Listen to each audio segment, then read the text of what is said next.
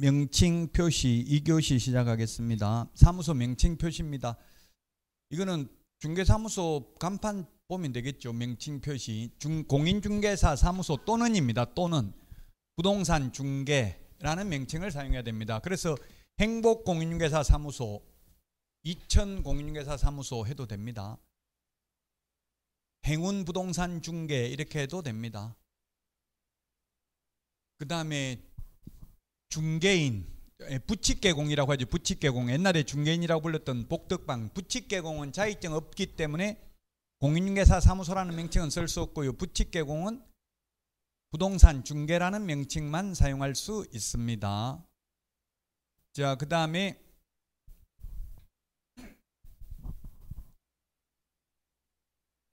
성명을 표기할 의무는 없습니다. 성, 사무소 명칭에 어, 성명을 표기할 의무는 없습니다. 그러나 5개 광고물, 5개 광고물을 설치해도 되고 안 해도 되는데 5개 광고물을 설치하는 경우에는 반드시 성명을 표기해야 됩니다. 그냥 유리창에 선팅만 하려면 성명 표기할 필요 없습니다. 근데 5개 광고물이라는 게 간판입니다. 간판. 5개 광고물이 간판인데요. 간판의 경우에는 반드시 성명을 적어야 된다고 간판 실명제입니다. 간판 설치해도 되고 안 해도 됩니다. 그리고 5개 광고물에는 연락처를 표기할 의무는 없습니다. 근데 헷갈리는 게 간판에 지나다니다 보면 전화번호 있어요, 없어요? 있어요. 있는데 그건 업무상 아니라고 알아서 자기들이 손님 받으려고 전화번호 적어 놓은 거지 적으라고 돼 있지는 않다고요, 법에는. 법에는 성명은 반드시 적어야 돼. 그래서 간판을 자세히 보면은 이름만 오려 붙여 놓은 거 보셨어요, 혹시? 간판 안 바꾸고 이름 적어 놨잖아요. 간판에 보면 그 이름만 오리 붙인다고 자꾸 바뀌면 다른 사람한테 넘기면 새로 받은 사람이 그 자기 이름 또 적고 이렇게 한다고요? 중개사무소 새로 인수받았다고 해서 인테리어 완전 간판 새로 달고 할 필요 있어요 없어요? 없어요 망할지도 모르는데 괜히 돈만 많이 든다고 그리고 또 너무 새거 돼 있으면 새로 차렸다고 하면 초보자라고 생각하고 오히려 손님이 싫어할 수도 있다는 이야기예요 이게 상권 분석을 해보면 모텔하고 주유소하고 식당을 분석해 보면 모텔이 대실료가 똑같습니다. 그러면 신축 모텔로 가요? 아니면 옛날 가던 데 가요? 단골 신축 네, 신축으로 가죠. 이거는 손님들이 그렇죠. 이왕이면 세금이 낮죠. 그래서 그러니까 이거는 100% 세금을 새 모텔로 간대요. 돈이 똑같으면 충성도가 가장 낮다고요. 단골 고객에 대한 충성도가 식당은 어떻게 되겠어요? 식당이 맛집이 있으면 옆에 똑같은 거 보통 생기잖아요.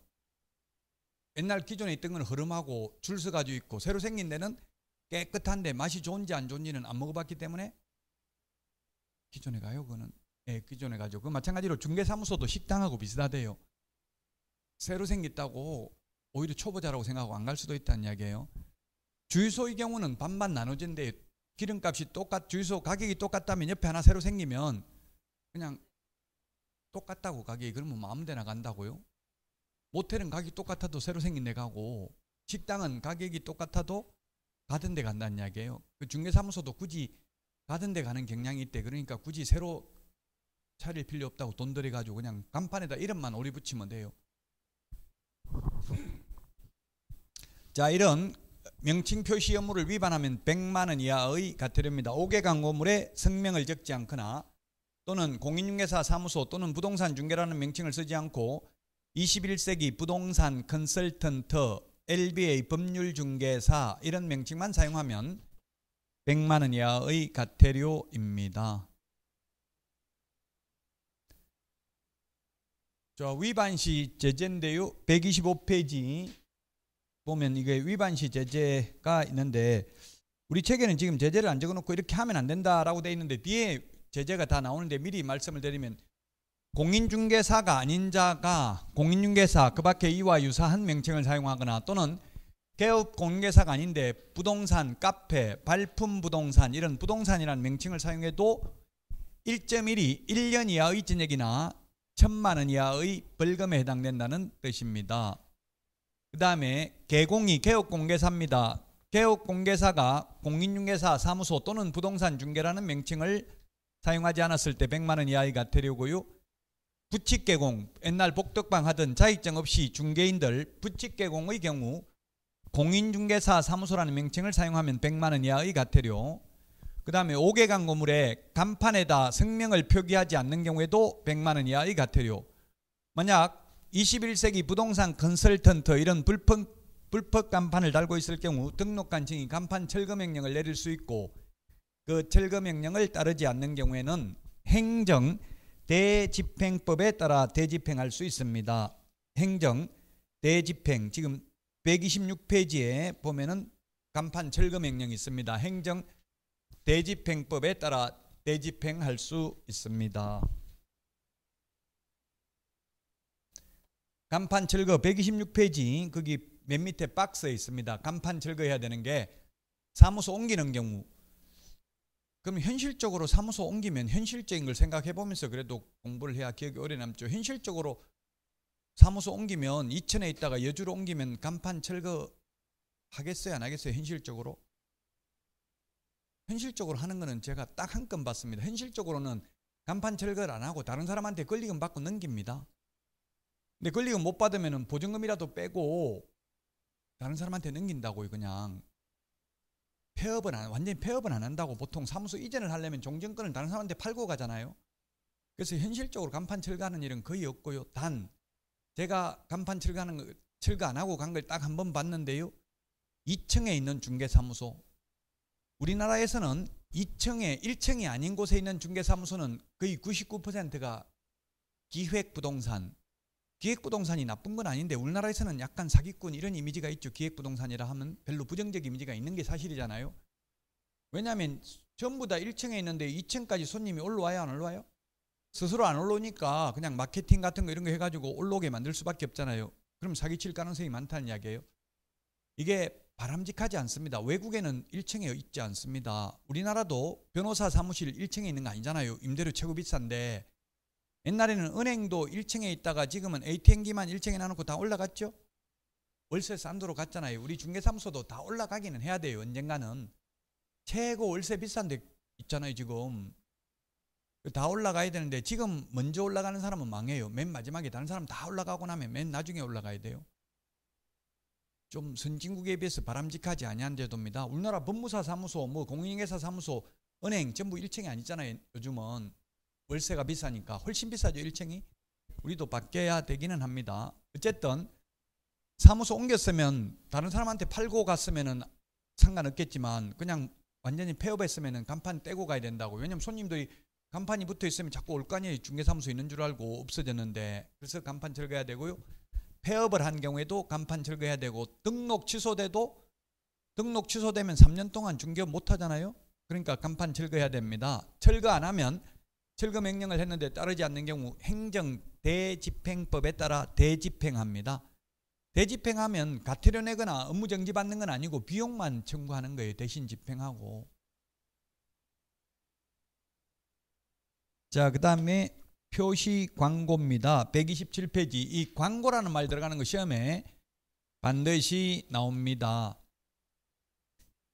저도 옛날에 중개업을 하면서 충격받은 게 보통 상가에 보면 임대문이 이렇게 해가지고 임대문이라고 해가지고 핸드폰 번호만 적혀 있는 경우가 많더라고. 셔터 내려놓고 상가 임대문이. 그 전화를 해봤죠. 제가 실장으로 근무하면서 사장이 사무소에 앉아 있는 꼴을 못 보더라고. 가서 물건이나 물고 와라 하고 나가라고 하더라고요. 그럼 나가면 상가 물건 물고 오려면 어떻게 해야 돼? 상가 하려면은 그냥 그 식당 같은 데 다니면서 명함만 뿌리는 거예요. 아무 말도 안 하고 뭐 사무소 내놓을 겁니까? 이렇게 손님 와서 지금 밥 먹고 있는데 그런 말 하면은 좋아요 안 좋아해요? 안 좋아하겠죠. 그럼 사무실 나갈 내놓으려고 생각하면은 손님들 다 떨어지겠죠. 그러니까 아무 말 안 하고 그냥 명함만 나놓고 뭐 돼요. 그냥 그, 그 식당에 들어가 가지고 카운터에다가 그러면 알아서 나중에 제가 100군데 돌리니까 3군데 연락 오더라고요. 내놓겠다고. 그러니까 하루 종일 돌리면 100군데 몇백 군데 돌리잖아요. 그럼 매물이 계속 쌓이잖아요. 그렇게 가만히 있으면 안 된다고 여러분들이 현업에 나가서 가만히 있으면 망하죠. 계속 그런 식으로 일을 해야 되는 거는 맞아요. 그리고 이제 다가구 원룸 같은 건 어떻게 하냐면 다가구 원룸은 들어가기 쉬워요, 어려워요? 문 잠겼어요, 안 잠겼어요, 1층에? 그럼 들어갈 수 있어요, 없어요? 들어갑니다. 다 비밀번호가 옆에 보면 적혀져 있어. 그런데 고무 파킹 이런 데 보면 왜냐하면 여러 사람이 사용하기 때문에 그는 혼자 하는 게 아니기 때문에 열아홉 가구가 살잖아요. 다 있어요. 그 열고 들어갈 수 있어요. 들어가 가지고 스티커 어, 어, 테이프 가지고 전부 명함을 그 호수마다 다 붙여놓고 이렇게 계속 하니까 연락 오더라고요. 그런 식으로 계속 작업하고 또그 편 우편함에다가도 넣어놓고 이런 식으로 다가구 이런 데는 들어가기가 쉬워요. 근데 아파트에 가서 그렇게 하니까 바로 경비실에서 올라와서 끌려 나왔어요. 잡아가지고 아파트는 쉽지가 않더라고요. 아파트는 돈 내고 거기 뭐 엘리베이터 이런 데도 돈 내고 강구해야지 그냥 하면은 바로 잡상이 났다고 연락해가지고 관리사무소에서 오더라고요. 그래서 아파트는 좀 힘들어요. 그렇게 하기가. 그럼 아파트는 어떻게 해야 되냐면은 게시판에는 돈 내야 되고 돈 안 내고 할 수 있는 방법은 예, 주차장에 차 붙어 있는 거 핸드폰 번호 사진 찍어 와가지고 그 앞에 다 핸드폰 번호 적혀져 있잖아요. 해피콜을 하면 돼. 전화해가지고 어느 중개사무소입니다 하고 이렇게 하면 그러면 그 뭐 너 어떻게 내 전화번호 알았어 사기꾼아 이렇게 하는 사람 거의 없더라고요. 그러니까 해피콜이라고 하죠. 좋게 그냥 뭐 어느 부동산입니다. 그냥 이렇게 해가지고 일, 어떤 분들은 한 달에 한 번 아니면 일주일에 한 번 이런 식으로 그냥 안부 문자 비슷하게 보낸다고요. 계속 보내면 너무 자주 하면 또 짜증 날 수 있으니까 한 한 달에 한 번 정도 매월 초 이렇게 되면 해피콜이라고 하죠. 우연히 한 것처럼 이렇게 해서 뭐 내놓으라 이런 말 할 필요도 없어요. 집 그런 식으로 보내면 자주 보던 전화번호에 연락 온다고 만약에 집 내놓으려면 지금 여러분들 현업에 나가서 돈 벌 수 있는 걸 제가 알려드린 거예요. 제가 경험한 거 이런 거는 돈 받고 가르쳐 줘야 되는데 자 그래서 어쨌든 임대문의 해가지고 핸드폰 번호만 적혀 있더라고요. 전화해보면 전부 다 거의 100% 개업 공개사예요. 그래서 제가 국토부 장관한테 민원 제기했어요. 이게 근데 국, 전부 개업 공개사인데 제가 실장이라고 하면 기분 좋아해요 안 해요? 그 다른 중개업소에서 부동산에서 별로 기분 뭐 별로 뭐 좋아하지 않더라고요.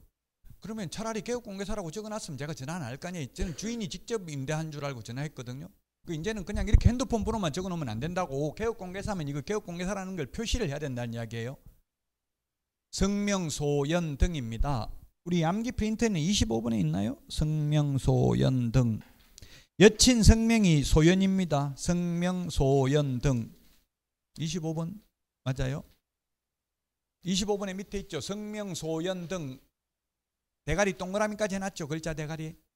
성명, 소연 등 암기사항입니다.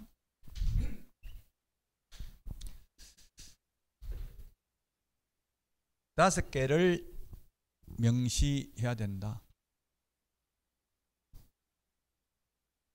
근데 보조원 이름 적으면 안 된다. 지금 부동산에서 사기치는 게 70%가 보조원이래요. 통계가. 왜? 보조원은 자격증을 안 땄기 때문에 모르잖아요. 무서운 걸. 지금 수업 듣는 분은 아이고 무서워라. 이거 무서워서 나쁜 짓 못하겠다. 이런 느낌이 드는데 보조원은 자격증 없으니까 무서운 줄 모른다고요. 그래서 사기치는 게 많기 때문에 보조원 이름으로는 광고하면 안 된다. 그럼 현실적으로 보조원 이름으로 광고 많이 해요 안 해요? 지금도 하고 있어요. 제 조카도 지금 조카는 보조원은 아닌데 하고 있는데 아직도 보조원 이름을 한대요. 어떤 식으로 하는지 물어보니까 직방, 특히 직방에서 직원들이 나가서 영업을 하면서 뭐라고 하냐면은 안심번호라는 걸 준대요. 그 사무소 번호로 광고를 내도 전화를 하면 그 광고비 낸 직원 이름으로 연결이 된대요. 왜냐하면 이게 현실적으로는 광고비를 직원들이 내요. 사장이 내는 게 아니고 그래가지고 제 조카 말 들어보니까 자기는 90% 먹고 10%만 사장한테 준대요. 광고하고 모든 비용은 자기가 다 내고 그럼 보조원의 경우에는 뭐 80% 또는 70% 먹는데 그 대신에 비용은 다 직원이 다 내는 거예요. 광고비까지도. 그럼 사무소 사용 대가만 뭐 최소한 10%부터 뭐 30% 아니면 반반 60% 40%까지 비용을 낸대요. 직원이. 그럼 직원도 자기가 광고 돈 내고 광고했는데 사장 이름으로 광고해가지고 사장이 다 받아버리면 의미가 없죠. 그래서 현실적으로는 아직도 안심번호라고 해가지고 직방에서는 보조원 이름으로 광고를 받고는 있는데 시험에 나오면 안 된다. 보조 이름 보조원 이름으로 광고하면 절대 안 된다. 100만 원 이하 보조원 이름으로만 하면 이거는 무등록 중개업자니까 광고하면 1년 이하의 진역이나 천만 원 이하의 벌금이고 사장 이름으로 광고하면서 실장 박용덕 이렇게 적었는데 그 실장이 보조원이면 100만 원 이하의 가태료다 이 뜻이에요. 자, 그다음에 또 이거는 지금 주로 광고 이걸 어디다 하냐면은 다른 중개업소 보니까 신도시에 가 보니까 미리 이게 광고 요걸 다 들어가게 만들어 놨더라고. 이게 천으로 만들거나 아니면 종이 좋은 종이로 가지고 만들어 놨어 이미 광고를. 그래 가지고 거기다 유리창에 딱 붙이는 거예요. 그 붙이면 거기를 광고한 거기 때문에 거기 그 부동산 소재지 중개사무소 소재지는 적어야 되지만 해당 부동산 소재지는 적을 필요 없죠.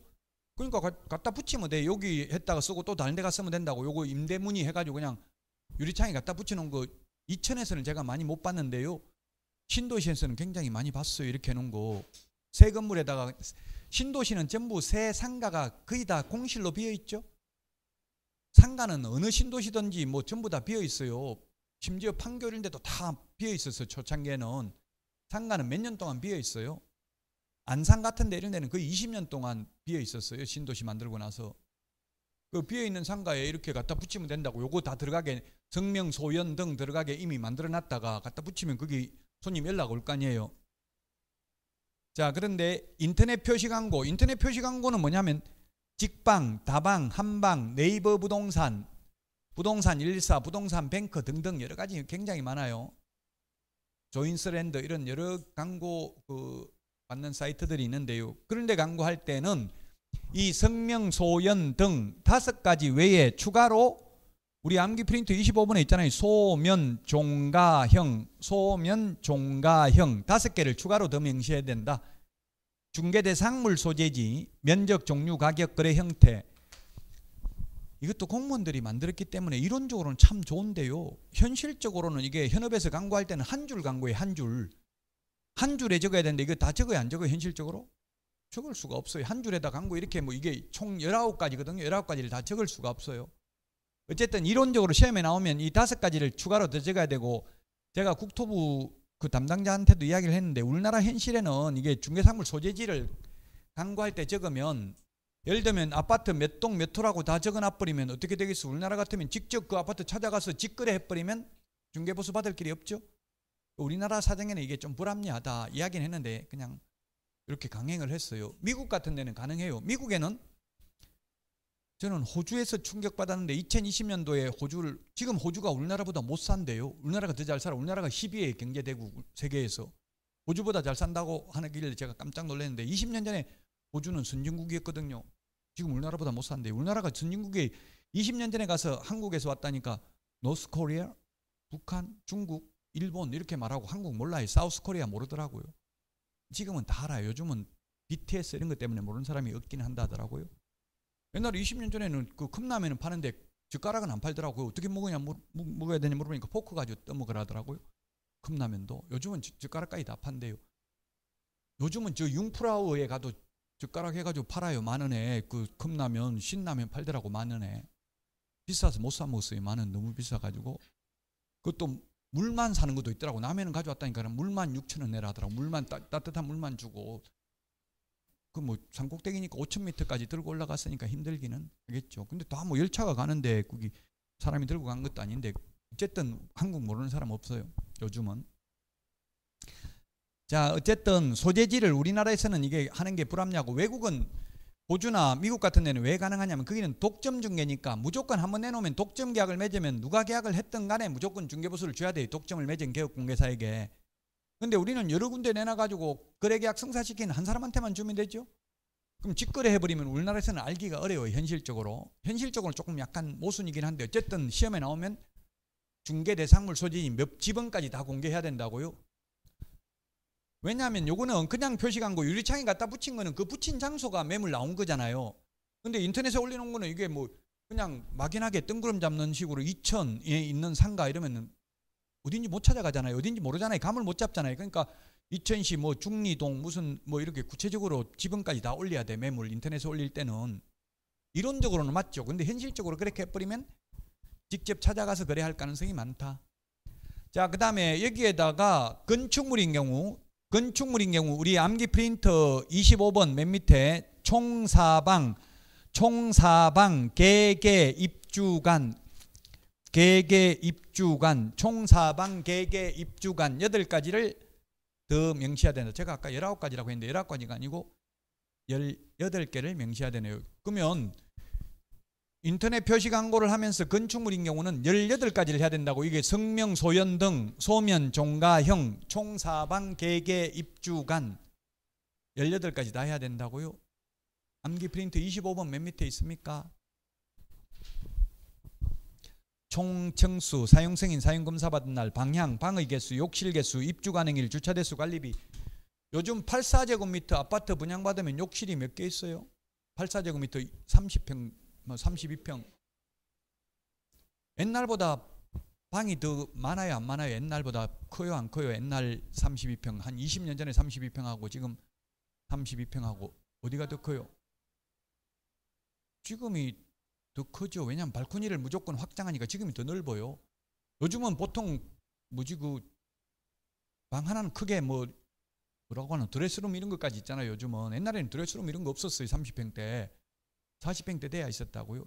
왜냐하면 요즘은 발코니 확장이 적법 불법이 아니고 옛날에는 발코니 확장이 불법이어서 그렇습니다. 요즘은 다 확장하게 돼 있죠. 확장을 했기 때문에 서비스 면적이 있기 때문에 옛날 40평 대하고 비슷하다고요. 지금 32평형이 84제곱미터 국민평형이라고 하잖아요. 국민평형이라는 말이 구미에 있는 박정희 전 대통령 생가가 85제곱미터래요. 그래서 국민평형이 됐다고 알려져 있어요. 주택 법이 82년도인가 제정됐거든요. 이게 우리 주택법이. 옛날엔 주택법이 아니고 주택건설 촉진법이었어요. 촉진 많이 짓는 게 우선이었지만 지금은 많이 짓는 게 아니라 양호한 주거 환경을 제공하는 게 목적이라고요. 지금은 우리나라가 굉장히 일본보다 더 잘 사는 것 같아 제가 볼 때는 개인적으로. 일본은 지금 뭐 전부 다 열평이에요. 그리고 차도 전부 경차예요. 근데 우리나라는 경차 좋아해요, 안 좋아해요?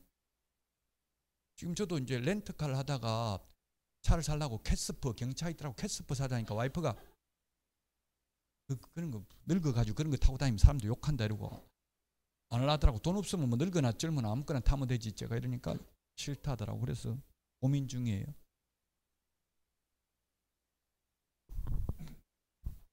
자, 136페이지 위반 시 제재 우리 책에는 지금 제재가 다 안 나와 있어요. 뒤에 따로 있기 때문에 근데 그냥 한번 미리 보고 가면 광고라는 말 들어가는 게 지금 모든 벌칙에 이게 3년에 3천만 3년 이하의 진역이나 3천만 원 이하의 벌금, 1년 이하의 진역이나 1천만 원 이하의 벌금이라는 뜻인데 광고라는 말 들어가는 게 모든 벌칙에 다 해당될 수 있다는 이야기예요. 1번은 뭐냐면 시세에 부당한 영향을 미치는 표시 광고입니다. 즉 높은 가격으로 표시 광고를 유도해서 개업 공개사의 업무를 방해하는 것, 즉 입주자 대표회의 또는 부녀회, 입주자 커뮤니티 이런 데뭐 중개사무소 몰려가 가지고 우리 아파트는 왜 5억 올려놨냐 옆에는 10억인데 우리도 10억을 올려라 이런 식으로 강요하는 것 3년 이하의 징역이나 3천만 원 이하의 벌금 즉 가격 담합행위입니다. 그 다음에 개공 X 이 말은 개업 공개사가 아닌 자가 표시 광고한 경우 즉 컨설팅 업자 저는 컨설팅 업자가 광고하는 거 많이 봤는데요. 중개라는 말은 안 들어있더라고. 중개라는 말 들어있으면 처벌받거든요. 컨설팅 업자, 컨설팅은 해줄 수 있지만. 그래서 유리창에 보니까 뭐라고 적어놨냐면 부동산, 매매, 임대차 이렇게만 적어놨어. 중개라는 말은 없어요. 그 제가 전화해가지고 중개 됩니까 물어보니까 예 됩니다 이러더라고 컨설팅 업자들. 그거 녹음해가지고 민원 제기하면 무등록 중개업자로 처벌받을 수 있겠죠. 제가 농담으로 이렇게 하지만 저도 한 번도 고발해 본 적은 없어요. 우리나라 사람이 뭐 자기한테 직접 피해가 없으면 고발 잘 안 하죠. 저도 그냥 교수법상 하는 이야기니까 저 인간 정말 인간성 더럽네 이렇게 생각은 하지 마시라고요. 자, 부당 3번 부당한 표시 광고입니다. 허위 매물, 미끼 매물, 낚시 매물, 가짜 매물 올리는 걸 말합니다. 그럼 가짜 매물 올리면 만약 시세가 1억이면 1억보다 높게 올리겠어요? 낮게 올리겠어요? 개업 공개사들이? 낮게 올리죠. 왜냐하면 높으면 요즘은 인터넷 시대이기 때문에 1등만 살아남을 수 있어요. 참 서글픈데 그래서 제가 그 렌트카가 집 사, 차 사는 것보다 훨씬 더 비싸더라고요. 그래서 지금 차를 살까 생각 중인데 렌트카에 그 보면 텔레비전 아 텔레비전이 아니 인터넷을 보면 30만 원대 이렇게 30만 원대 이렇게 돼 있더라고 또 그럼 39만 9,900원도 30만 원대죠. 근데 나중에 견적 내 보니까 69만 원이야. 그건 내가 사기꾼아 사기꾼아 그런 소리 못 하고 왜 인터넷에는 30만 원이라고 돼 있는데 60만 원이냐 이러니까 뭐 금리가 오르고 뭐 어쩌고 저쩌고 해가지고 그렇다 하더라고. 근데 일단은 그렇게 싸게 돼 있어야 전화하지 비싸게 돼 있으면 아예 전화도 안 오죠. 그러니까 이게 부당한 표시 광고를 허위 매물을 낮게 올린다고 제 조카 말 들어보니까 월세가 40만 원이면 10만 원, 20만 원짜리 있다고 올린대요 매물을 그럼 손님이 전화 와가 진짜 있습니까? 물어보면 예 있습니다. 빨리 택시 타고 오세요. 이거 금방 나갑니다. 해가지고 택시 타고 갔더니 제가 금방 나간다고 했잖아요. 나갔습니다. 이렇게 거짓말했으면 500만 원 이하가 데리고 진짜 나갔으면 상관없는 거죠. 그 허위매물 올리지 말라는 이야기입니다. 그 다음에 이 4번은 뭐냐 하면 성명, 소연 등 소면, 종가형, 총사방, 개개, 입주관 이런 거 빼먹으면 100만 원 이하가 데리라고 광고할 때 그러면 앙심 품고 미는 넣어버리면 이게, 이게 안 걸릴 사람 하나도 없겠죠. 이거 18개 적어놓은 사람 하나도 없거든요. 현실적으로. 그러니까 겸손해야 되더라고요. 부동산 해가지고 제가 아는 사람도 20억밖에 못 벌었다 이렇게 하고 이러면 기분 좋아해요 안 좋아해요 옆에서 재수 없다고 자꾸 미는 늘 가능성 많아요. 그러니까 돈 벌어도 조용히 있고 벌었다 소리 하지 마세요.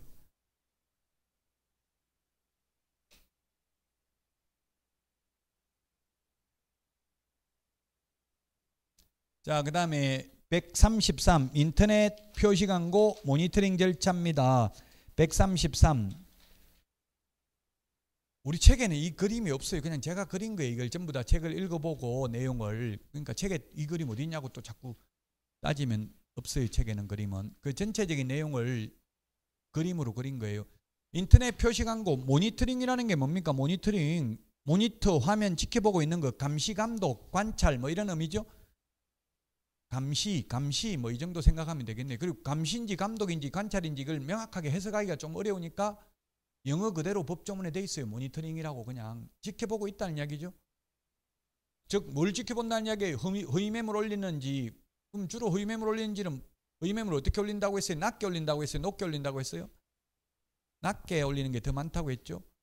높게 올리는 게 있을 수도 있겠죠. 높게는 교육공개사가 자발적으로 높게 올리는 건 없어요. 이제 돈 받기로 하고 이런 게 서로 짜고 하지 않는 한은 높게는 잘 안 올리죠.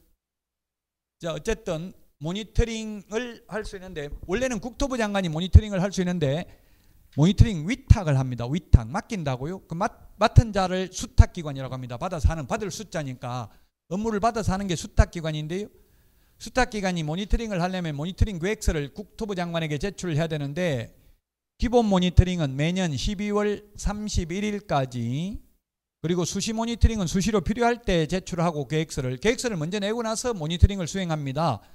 수행하고 나서 그 결과 보고서를 국토부 장관에게 제출해야 되는데 기본 모니터링은 30일 이내 수시 모니터링은 모니터링을 완료한 날부터 15일 이내 제출해야 됩니다.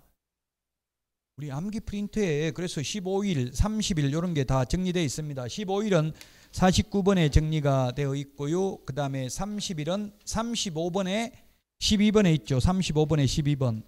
35번에 12번, 49번에 8번에 있습니다. 다 미처 따라오지 못하더라도 슬퍼하거나 노여하지 말라고 했죠. 또 3월 달에 또 보고 5월 달에 또 보고 7월 달에 또 보고 시험 볼 때까지 계속 보면 나중에는 합니다. 35번에 12번, 49번에 8번에 밑줄만 쳐놓으세요. 자, 그 다음에 국토부 장관에게 제출하면 국토부 장관이 전국에 다 다니면서 조사할 수는 없잖아요. 그래서 결과 보고서를 시도의사, 이게 누구한테 받았어요? 지금 모니터링 기관으로부터 받은 결과 보고서를 시도의사 및 등록관청에 제출해서 조사 및 조치를 요구할 수 있습니다. 조사 및 조치 요구를 받은 시도의사 및 등록관청은 신속하게 조사 및 조치를 완료하고 10일 이내에 그 결과를 국토부 장관에게 통보해야 됩니다. 그 시험에 10일, 15일, 30일 이런 숫자가 시험에 나올 수 있는데요. 10일은 우리 암기 프린트 40번에 40번에 동그라미 7번에 있네요. 40번에 동그라미 7번. 40번에 동그라미 7번에 있죠.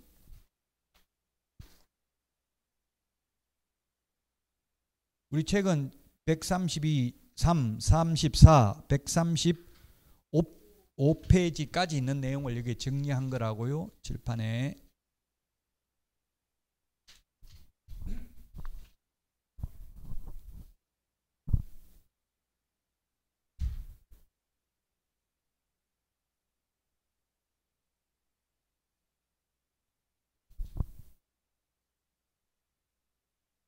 사진 찍으려면 찍을 수도 되고 뭐 제 초상권 주장은 안 하니까 제 얼굴 들어간 거에 찍어도 상관없어요.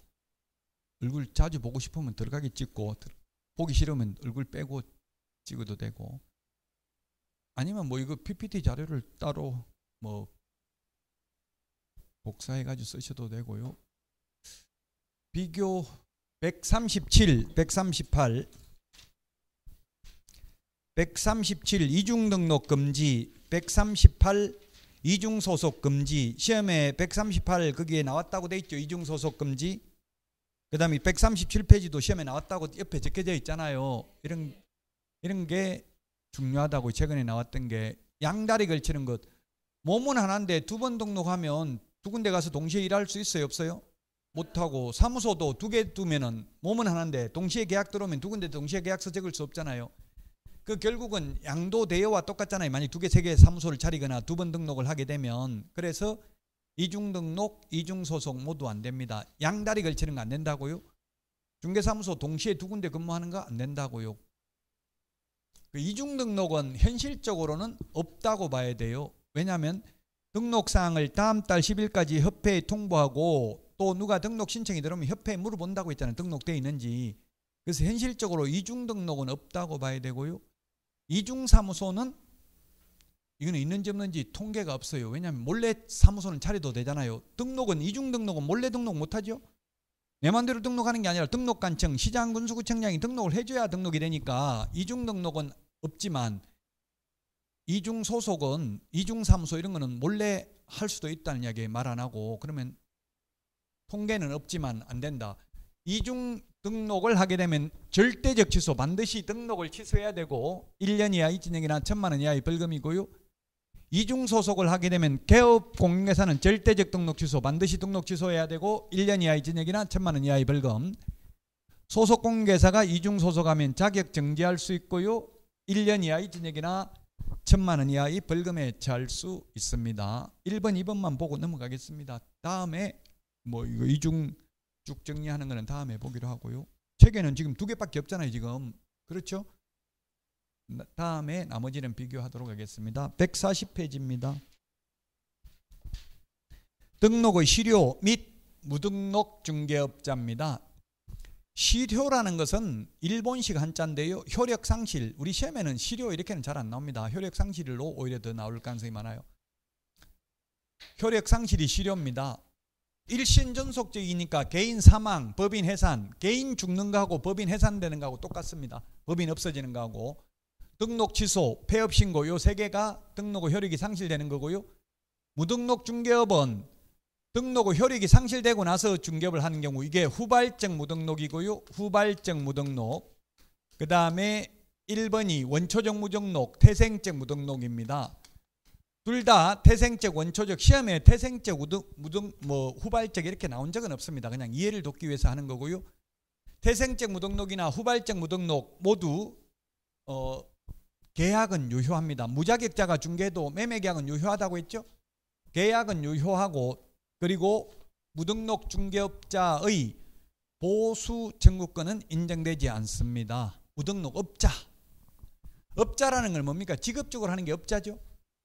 업자가 아니고 무자격자라 하더라도 우연한 기회에 한두 번 중개를 하고 보수를 받기로 했다면 사회통념상 과다하지 않는 보수는 받아도 되죠. 업자가 아니면 우연히 한두 번 하는 거는 근데 업자 직업적으로 하는 거는 못 받는다. 보수를. 업자라는 거 업 직업으로 한다는 얘기 계속 반복하는 거는 안 됩니다.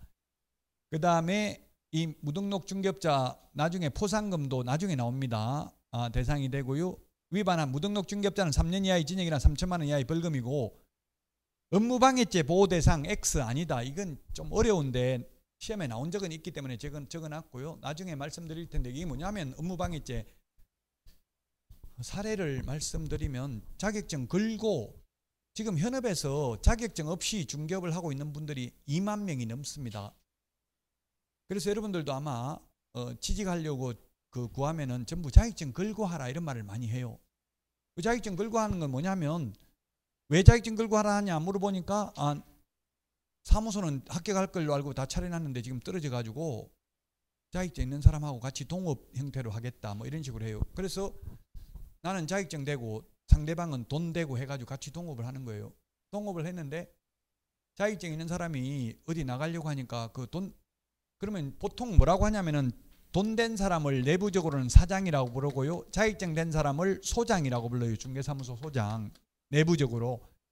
그럼 소장이 밖에 나가려고 하니까 사장이 도장 나놓고 가라 이렇게 한 거예요. 도장 나놓고 가라는 건 뭐예요? 지금 계약 들어오면 찍겠다는 이야기죠. 사장이. 그래서 소장이 자격증 있는 사람이 그냥 자격증 몰래 빼버리고 폐업 신고 해버렸어요. 걸어놓은 거 다 떼버리고 또 걸어놓은 걸 아예 안 떼고 복사해가지고 걸어놓고 원본은 집에 놔놓는 사람도 있어요. 그 복사하면 안 되는데 어쨌든 자격증 뺀다는 말도 안 하고 빼버리고 사장하고 사이가 안 좋으니까 돈 낸 사람하고 그냥 빼고 가만히 있었으면 되는데 또 등록관청에 민원 넣어서 지금 무등록 중개업자 중개업하고 있습니다 하고 그러니까 나와서 조사할 거 아니에요. 이게 자격증 뺀 줄도 모르고 있어요 이 사람은. 그래가지고 무등록 중개업자로 벌금 받고 이렇게 하니까 자격증 말도 안 하고 뺐다고 업무방해죄로 고소했다고요. 자격증 뺀 사람 처벌 받는다 안 받는다? 안 받는다는 얘기 보호 대상이 아니라는 말은 왜? 기책 사유가 돈 된 사람한테 있기 때문에 왜 도장 나놓고 가라고 한 거는 몰래 찍겠다는 이야기잖아요. 그 말을 했기 때문에 업무방해죄의 보호 대상이 아니다. 그래서 처벌받지 않는다. 말 안 하고 빼버려도 그 저한테 자꾸 질문을 많이 해요. 자격증 걸고 해도 안 위험하겠습니까? 그러면 제가 위험과 수익률은 비례합니다. 세상에 안 위험한 거는 없습니다. 위험할 수도 있습니다. 위험하다고 그러면 아예 안 하고 취직도 안 하고 그러면 뭐 또 취직할 데가 없는데 어떻게 합니까? 그런 딜레마에 빠지게 되는 거예요. 그러면 일단 해보고 뭐 위험하다 생각하면 뭐 그냥 자격증 빼버려도 돼요. 말 안 하고. 알아서 하세요. 그래서 제가 그걸 자격증 걸고 하는 게 위험하냐 안 위험하냐 그 사람 돈 낸 사람 성향도 제가 모르는데 단정할 수는 없죠. 위험할 수도 있습니다. 세상에 모든 건 다 일어날 수는 있습니다.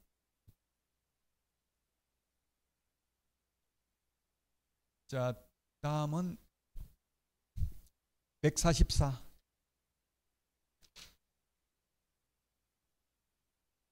(144) 그 5절 등록의 결격 사유 제가 여기 뭐라고 돼 있어 매번 나온다고 돼 있어 매번 우리 책에는 그냥 33회라고만 적어놨죠. 매번 나오니까 32, 30 다 계속 나왔어요. 책은 35년간 계속 나왔어요. 결격 사유.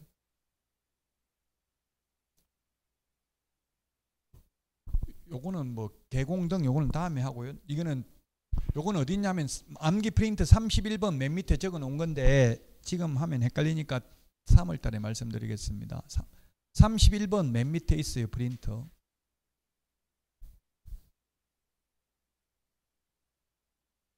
지금 프린트 번호만 하기가 사실 제가 좀 두려워요. 왜냐하면 찾는다고 헤매고 있을까봐 그랬긴 하는데 헤매도 슬퍼하거나 노여하지만 않으면 되는데 여러분들 스트레스 받을까봐 말하기가 조심스러운데 참아야 돼. 스트레스 좀 느긋하게 그냥 모르면 모르는 대로 넘어가고 이렇게 좀 하셔야 합격할 확률이 높다고 했어요. 제가. 자, 결격 사유라는 것은 뭐냐면 한마디로 말하면 자격증은 딸 수 있지만 취직하거나 개업할 수 없는 사유예요. 그럼 미성년자는 지금 맨 앞에 1번이 미성년자인데 미성년자는 자격증은 딸 수 있어요. 그러나 취직은 안 되고 개업은 안 됩니다. 뭐 올해 6월 달부터 무조건 만 나이라고 하는데 지금 저는 나이 한 살 줄었어 올해 지금 작년보다 만 나이로 하니까 두 살 주고 두 살 집에서 부른 나이하고 지금 두 살 차이 나요 제가 세계적으로 전부 만 나이만 써요. 근데 우리나라 6월 1일부터 만 나이로 쓴다고 하는데 모든 나이가 만 나이 아니에요. 학령, 즉 학교 가는 나이 이런 건 또 만 나이 아니더라고요. 근데 법적으로 행정적으로는 만 나이고요. 우리 시험에는 옛날부터 다 만 나이에요. 이게 민법상 미성년자거든요. 민법은 옛날부터 만 나이에요. 만 19세 미만이 미성년자죠. 19세 안 된 사람은 자격증 딸 수는 있는데 개업하거나 취직은 안 됩니다. 어, 3년 전에 미성년자 자격증 땄는데요. 저한테 수업 들어서 고등학생에서 2학년 때 자격증을 땄는데 고등학교에서는 내 잔다더라고 공부 안 하고 학교에서는 또 학원에서는 엄청나게 열심히 하더라고요. 뭐 하려고 그러냐 물어보니까 자기는 건물주 되는 게 꿈이라 하더라고. 아버지 건물주고 할아버지도 건물주라 하더라고요. 근데 그래서 참 대단하다 생각이 들어요. 저도 그렇게 일찍 그런 생각을 했으면 지금 부자 됐을 텐데 지금 죽을 때 다 돼가는데 아직도 돈이 하나도 없는데 그냥 돈 없으니까 마음은 편하더라고. 누가 뭐 저 죽일 일은 없잖아요. 저 죽여봐야 돈 나오는 거 없으니까. 그러니까 위험하진 않아요. 돈 너무 많으면 위험해. 누구한테 죽을지 몰라요. 자식한테 맞아 죽을 수도 있고 자식한테 돈 달라는데 안 주면 막 맞아 죽고 돈 다 주고 나면 굶어 죽고 이래나 저래나 피곤해 돈 많으면 그돈 없으니까 마음은 편해요.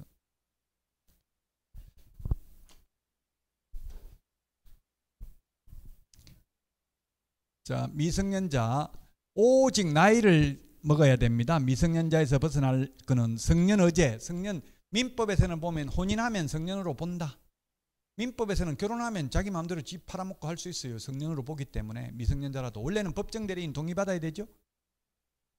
제한 능력자.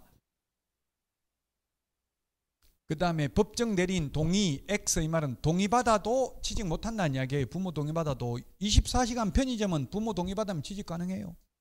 중개사무소에서는 부모가 허락해도 안 된다고요. 왜? 민법에서 미성년자 제도는 미성년자를 보호하기 위한 제도고 우리 공인중개사법에서 미성년자 취직도 안 되고 개업도 안 되는 것은 국민들 재산권 보호, 국민 경제 이바지하기 위해서 국민들을 보호하기 위해서 안 된다고요. 절대 미성년자 보호, 미성년자 술집에 근무 못하도록 하는 것은 미성년자 보호하려고 그러는 거고 미성년자 중개사무소에 근무 못하도록 하는 것은 국민들을 보호하려고 그런다고 손님들을 미성년자 무조건 나이 먹어야 됩니다. 결혼해도 안 되고 부모 동의 받아도 취직 안 됩니다. 근데 미성년자 그렇게 많이는 합격 못 하더라고요. 피한정 후견인, 피성년 후견인. 옛날에는 금치산자, 한정치산자라고 불렀습니다. 피, 피가 무슨 뜻이냐면 피, 뭐 피고발인, 피라는 말 많이 쓰죠. 민법에서도 피, 피, 피담보채권, 뭐 피라는 말 많이 써요. 피가 오더이자에다가 가죽 피자 이게 피인데요. 피 한정 후견인, 성년 후견인, 성년은 피 성년 후견인 민법을 하려면 한자를 알면 좋은데 지금 그렇다고 한자 공부해가지고 민법 할 수는 없는 거고 어쨌든 피성년 후견인 후견인이 뭐냐면 뒤 후자 바라볼 겐자 사람인자 뒤에서 바라보는 사람 즉 뒤에서 보살펴 주는 사람을 후견인이라 하고요. 성년으로서 뒤에서 보살펴 주는 사람을 성년 후견이라 하고 피는 옷, 오더있자 옷 가죽에다가 피부에다 옷 입혔으니까 보호된다 이런 뜻이잖아요 의미가. 그래서 성년으로서 보살핌을 받아야 되는 사람이 피성년 후견인입니다. 옛날에는 금치산자라고 불렀어요 금치산자 2014년도까지 민법에서 이게 민법입니다 아예 재산을 관리하는 걸 완전히 금지하는 자 피한정 후견인은 한정치산자 한정적으로 재산을 관리하는 걸 금지하는 자 누가 상태가 더 지금 악화되어 있는 거예요? 피한정 후견인, 피성년 후견인 중에서 피성년 이 나쁘게 말하면 완전 정신 나간 거고요. 피한정 후견인은 치매 환자 오락가락 하는 거예요. 정신 왔다가 나갔다가 하는 게 피한정 후견인 요건이 되는 거예요. 요건이 되는 거지 무조건 정신 오락가락 한다고 결격 사유가 아니라 법원으로부터 심판을 받아야 되고 벗어나려면 법원으로부터 종료 심판을 받아야 돼요. 제가 어머니를 20년간 모셔봤는데 90 넘으니까 금방 한 거는 뭐 했냐 물으면 나안 했다. 절대 분명히 해놓고도 뭐 드셨어요? 아니면 아니 안 먹었다. 무조건 안 했다고 그래요. 근데 50년이니까 다 기억해요. 그래서 더 이상 이제 묻지 않아. 괜히 묻는 거는 바람직하지 물어봐요 어차피 안 했다고 하니까 그냥 뭐, 뭘 하려고 그런 게 아닌데도 이제 애가 된다는 말이 맞더라고 뭐 자꾸 잔소리하고 혼낼까봐 그냥 무조건 안 했다고 그러는 것 같아요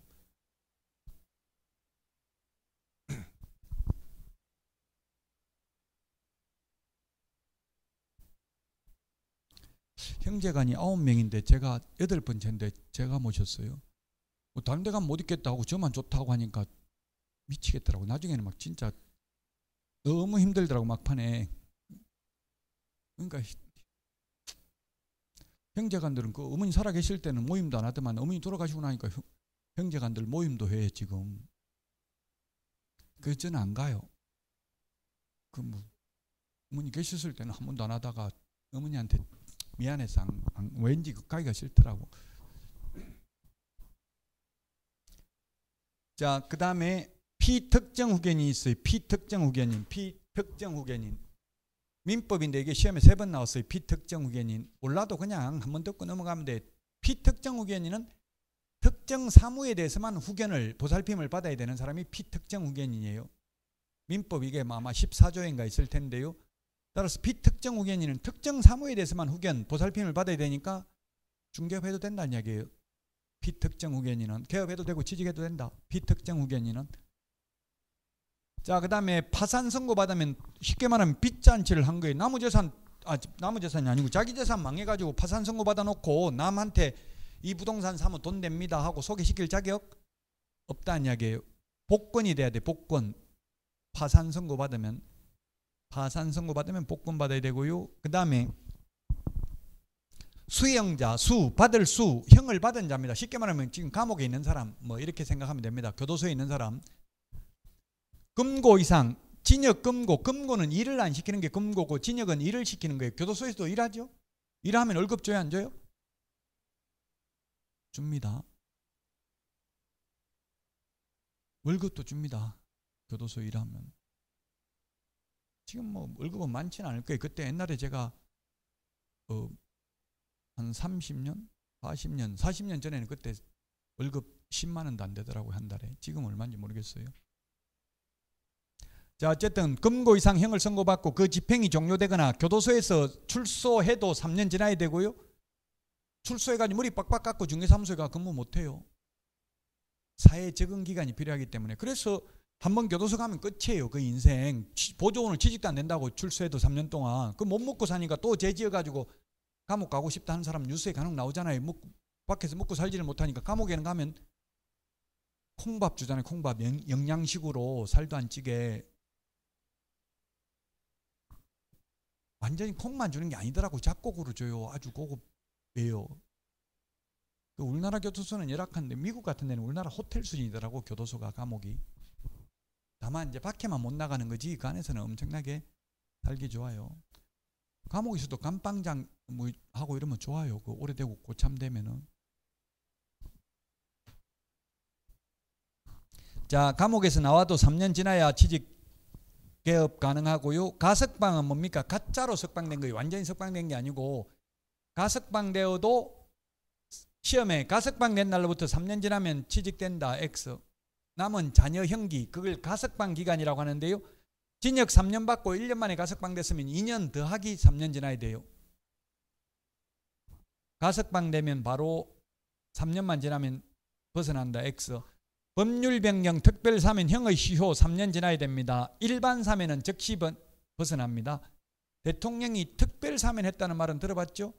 이번에 정치인들 뭐 김경수 뭐 이, 이명박 이런 사람들 했잖아요. 특별 사면. 특별 사면인데도 김경수는 3년 동안 보조원 취직도 안 되고 개업도 안 되고 선거 출마도 못 해요.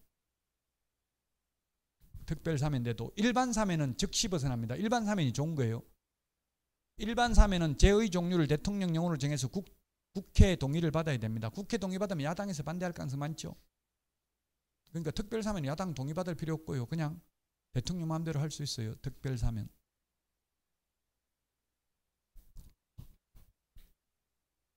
법률 변경 뭡니까? 법률 법이 바뀌어가지고 법이 없어지는 것도 있고 새로 생기는 것도 있고 법이 자꾸 바뀌죠.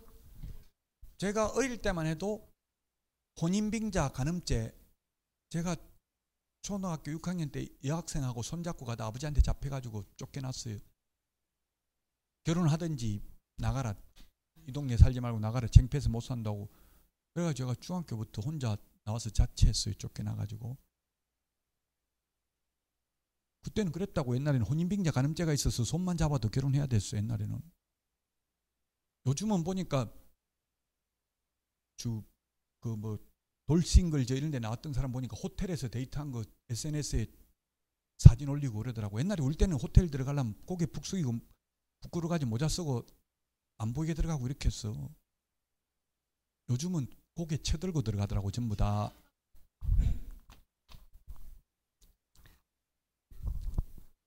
자 옛날에는 혼인빙자 간음죄가 있었고요. 그 다음에 얼마 전까지만 해도 간통죄 있었잖아요. 간통죄. 근데 요즘은 간통죄 폐지됐죠. 그 상관녀한테 요즘은 전화하면은 싹싹 빌고 이런 거 있어요 없어요? 잘못했다고? 오히려 큰 소리 친다고. 네가 얼마나 매력이 없으면 나한테 자꾸 찾아오겠냐. 똑바로 좀 해라. 이렇게 한다고요.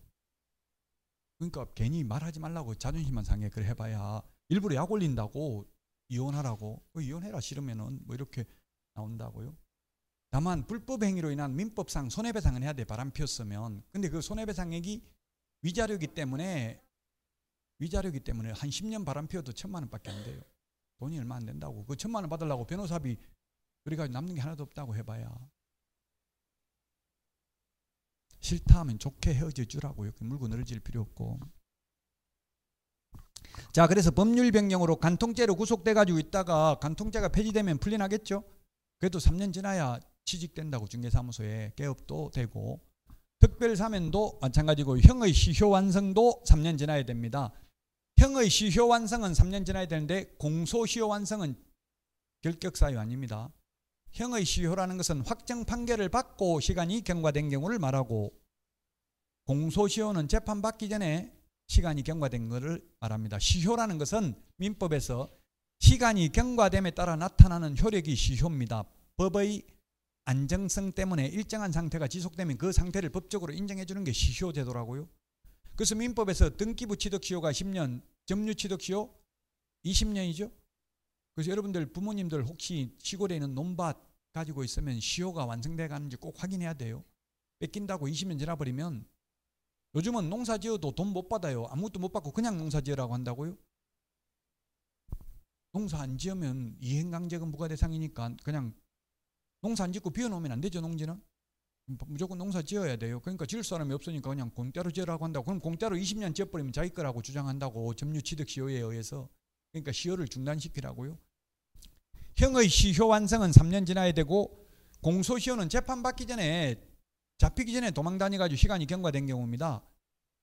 이춘재 살인사건 화성에 그 당시 살인사건 공소시효가 15년이었어요. 살인을 해도 15년만 지나면 잡혀도 처벌 안 받죠. 그러니까 결격사유 아니라고요. 지금은 살인죄 공소시효 없어졌습니다.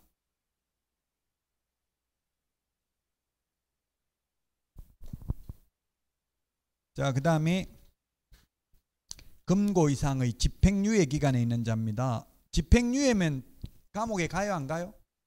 안 가죠. 집행이 유예됐으니까. 그러면 만약에 징역 3년에 처한다. 그러나 깊이 뉘우치고 있고 국가 경제에 이바지한 점을 감안하여 그 집행을 5년간 유예한다. 재벌 총수들 주로 이렇게 나와요. 3년 이하만 집행유예 가능하고요. 4년 이상은 집행유예 안 됩니다. 그럼 징역 3년에 집행유예 5년이라고 하면 유예 기간 5년 동안 결격사입니다. 5년 동안 취직도 안 되고 개업도 안 된다. 그 삼성 이재용 회장 옛날에 이건희 회장 전부 다 지금 회장이라도 등기이사는 아니에요. 등기이사는 아니고 그냥 말로만 회장이지 아무런 책임이 없다고 등기이사가 아니니까 책임도 없는데 권한은 행사겠죠. 책임은 안 져요. 왜냐하면 요즘은 중대재해법 이런 거에 의해서 대표이사 책임자 되거든요. 그러니까 대표이사 아니라고 법정 등기이사는 아니라고요. 그냥 말로만 이사예요. 말로만 대, 어, 회장이죠. 그 여러분들도 돈 많으면 회장 되라고 대표이사 되지 말고 등기이사 되지 말고요. 그 삼성전자 이런 데 등기이사 월급이 60억이라더라고요. 제 선배한테 물어보니까 60억인데 안 하라고 한대요. 그래도 나중에 책임져야 되니까 소송하면은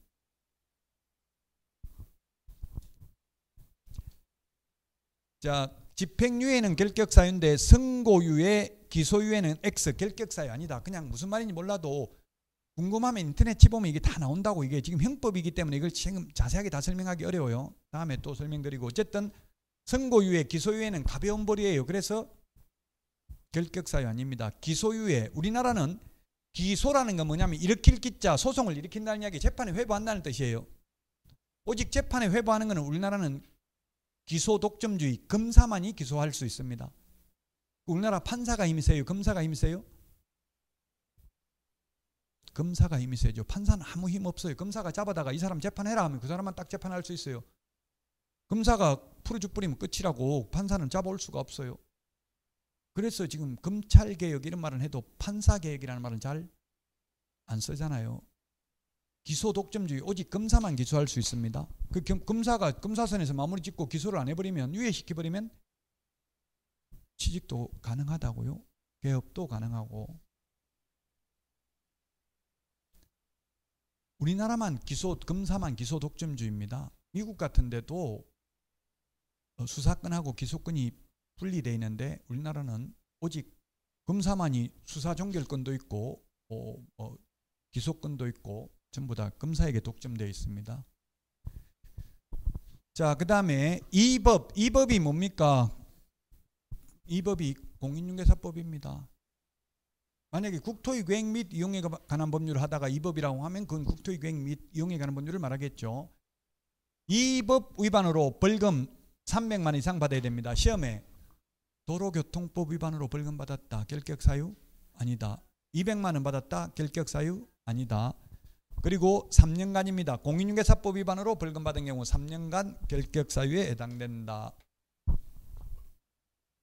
요거는 지금 암기 프린터 31번에 있습니다. 암기 프린터는 우리 교과서는 146페이지부터 있고요.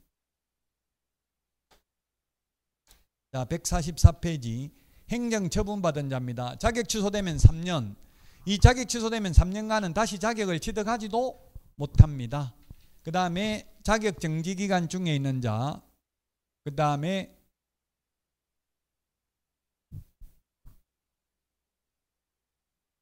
등록 취소되고 3년 미경과자, 그리고 업무 정지 기간 중에 있는 자, 그리고 법인의 업무정지 사유 발생 당시 임원 또는 사원이었던 자 11번 이게 좀 어려운데요.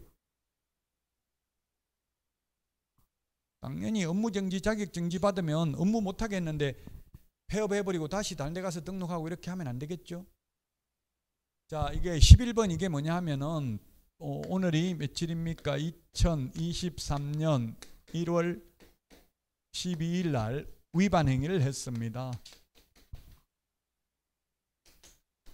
2월 12일 날 A라는 임원이 선임되었습니다. 그리고 2023년 3월 12일 날 업무 정지 처분을 받았습니다. 예를 들면 살인을 했다 하더라도 살인 사건 일어났다고 바로 그날 잡아다가 사형시키는 거 아니죠? 안 잡히면 안 잡히면 계속 가잖아요 그냥 그러니까 업무정지 위반해도 누가 민원 안 넣으면 업무정지 위반했는지 등록관청에서 다니면서 사치 조사하는 건 아니거든요. 현실적으로 누가 민원을 넣어야 알 수 있다고 업무정지 위반 행위를 했는지 안 했는지 절대로 공무원이 적극적으로 나와서 조사하는 경우는 거의 없습니다. 그 민원 넣는 사람이 누구겠어요? 손님들이 대부분 손님이에요. 의뢰인들, 매수인이나 매도인. 자기가 재산 피해를 봤다. 개업 공개사 때문에 피해봤다 생각하면 민원을 넣는다고요. 또 얼마 전에 수원 영통에서 아, 수원 영통에 제가 강의할 때 그 실장으로 했던 분이 지금 개업을 했 어, 용인시 최인구 무슨 면이라 하더라고. 그면뭐 용인은 워낙 커가지고 뭐 면이던데 어, 오산하고 가까운데 그 무슨 면에서 지금 개업을 했는데 농지를 중개했는데 3년 전에 거의 한 2년 3년 다 돼간다 하더라고. 농지를 중개했는데 확인 설명서에 농막 건물 있는 걸 계약서 같은 계약서엔 다 적었대요 농막에 대해서. 건물 있는 걸. 근데 확인 설명서에 농막 안 적었다고 바로 민원 넣어 가지고 확인 설명서 기재 위반으로 민원 넣어 가지고 소명하라고 등록관청에서 연락 왔는데 어떻게 하면 됩니까? 묻던데. 소명할 방법이 없잖아. 안 적었으니까 뭐 그냥 업무정지 당하는 수밖에 없어요. 이미 사고 나고 나서 저한테 물으면 당하는 수밖에 없죠. 제가 살인을 했는데 어떻게 할까요 처벌받는 길밖에 없잖아요. 그러니까 위반하기 전에 계약서 쓰기 전에 물어봤어야 돼요. 그 지금 외민을 넣고서 그 자기들끼리 분쟁이 생긴 거예요. 뭔가 그에 대해서 뭐 무슨 분쟁인지는 모르겠지만 뭐 철거 비용을 누가 대라 뭐 예를 들면 이런 거라든지 아니면 건물값을 더 달라고 한다든지 이런 식으로 이제 와서 분쟁이 생기니까 그냥 개업 공개사를 물고 늘어진 거예요. 그런 게 많이 생기니까 먼 훗날 그래서 좀 돈을 적게 벌더라도 최대한 법을 지키려고 노력을 해야 돼. 나중에 되면 여기저기 물어보면 또 저한테 묻잖아요. 이렇게 확인 설명서에 안 적혀있는데 어떻게 하면 되냐고 물어보면 저는 또 예, 등록 관청에 민원 넣으면 됩니다. 알려줄 수밖에 없잖아요. 저한테 묻는 사람한테 유리하게 대답해 줄 수밖에 없죠. 그러니까 조심하시라는 이야기는 먼 훗날을 생각해서 일단 저도 보험을 하나 들려고 보니까 고지의무 위반 안 알리면 병 있는 거 이런 거 안 알리면 공금 줘야 안 줘요? 하나도 안 주더라고. 그래서 제가 전부 다 알렸어. 막 샅샅이 다. 그러니까 그 보험 그 모집인이라고 자기가 모집인이라고 하더라고 법적으로는 용어가 별로 싫어하더라 그런 거 안 알려도 되는데 굳이 다 녹취되고 있다면서 그뭐안 알려도 된다고 하는 걸 다 말했어요. 뭐 차라리 못 들면 못 들지 괜히 나중에 본거 못 받을 수도 있다고요. 그러니까 여러분들도 확인 설명서에 확인 설명하는 게 중요한 게 아니라 그분 이야기로는 설명을 했는데 서, 설명서에 안 적었다더라고. 그럼 3년 전에 설명한 것 녹취해 놓은 것도 없으면 입증할 수 있어요, 없어요? 설명했다는 거? 없죠. 설명했다 하더라도 설명서에 안 적었으면 그 작성 기재 위반이에요. 그러니까 무조건 설명하는 게 중요한 게 아니라 서식에 근거를 남기는 게 중요하죠. 문수가 있으면 할 말이 없잖아요. 여기 적어놨는데 적어놨는데 설명 안 들었다고 하면 그때 다 설명드리고 여기 적었잖아요. 왜 이제 와서 딴 말씀 하세요? 이렇게 하고 흥분하지 말고 말해야 돼. 흥분할 필요도 없죠. 거짓말도 태연하게 하는 사람 보면 미치버린다고 상대방이 증거 없으면 거짓말 해야 되겠죠. 자 어쨌든 그러면 이 사람 A는 6개월 업무 정지 받았어 3월 달에 이게 이 중개 사무소가 그러면 A 임원은 그만두 버리고 6개월 동안 다른 데 가서 취직하거나 개업할 수 있다 없다는 말이에요. 지금 지금 요 11번 이게 요거 보고 답하면 이 A라는 임원은 6개월 업무 정지됐는데 그만두고 6개월 안에 다른 데 가서 취직하거나 개업할 수 있다 없다? 있다는 뜻이에요. 지금 뭐라고 돼 있어요? 업무 정지 사유 발생 당시잖아. 사유 발생 당시 때 근무했어요, 안 했어요? 처분 당시는 근무했지만 A는 이게 사유 발생 당시는 근무 안 했잖아요. 그래서 결격 사유 아니라고 기책 사유가 없다고 이 사람하고 아무 상관없다고 이게 위반할 때는 A하고는 좀 어려워요. 이게 지금 이번에 설명 안 하고 넘어갔어야 되는데 설명을 드리, 드리긴 했습니다만은 좀 몰라도 다음에 또 자세하게 말씀드리겠습니다. 자, 그 다음에 결격 사유에 해당하는 임원은 2개월 이내 그 사유를 해소해야 되고 안 하면 절대적 취소입니다. 임원이 감옥 갔으면 임원 교체해야 된다고요. 다른 사람으로 교체 안 하면 2개월 안에 교체 안 하면 등록 취소해야 됩니다. 2개월이 암기 프린터 38번에 동그라미 1번에 있습니다. 38번에 동그라미 1번